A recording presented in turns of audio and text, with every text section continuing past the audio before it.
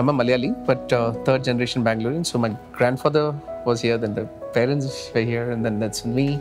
Now my children are again born, brought up in Bangalore, so they become the fourth generation. So Bangalore is quite deep rooted for me.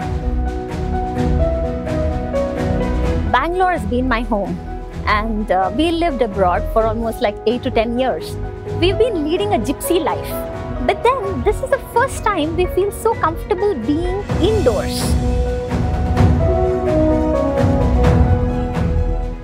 I had a friend of mine. Uh, she used to stay in uh, Hiranandani and I used to like the community, the open spaces which are there, the grandeur of the buildings which are there, and it made a, a city uh, kind of a look altogether in a in a place.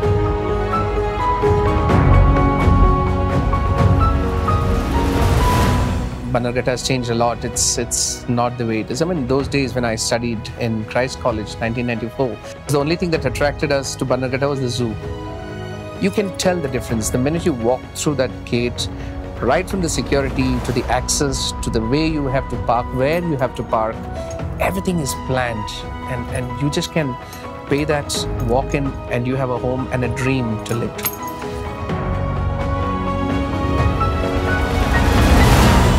The Blue Turtle is doing a very good job here in terms of the passion that we have for sports, in terms of the gym, in terms of all the classes that we have here.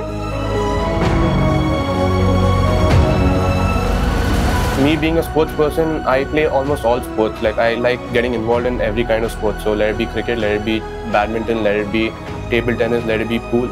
I really enjoy spending my time and you know sweating it out on the field or in the court. So this whole section where the uh, entire sports uh, amenities are given out, the basketball court and everything, really excites me because that's something I really like to do.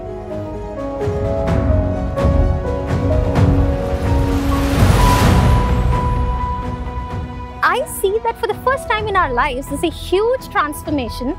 We're liking it to be more in the house within this complex and the township here than actually going out.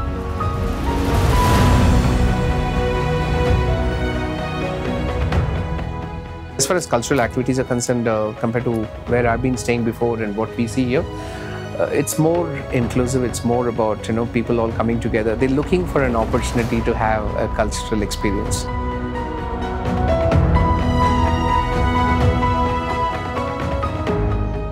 There were three buildings which were coming up, and I thought it has to be Lake Verandas, you know, because it, it was just in front of the lake, and it's it's a beautiful feeling altogether.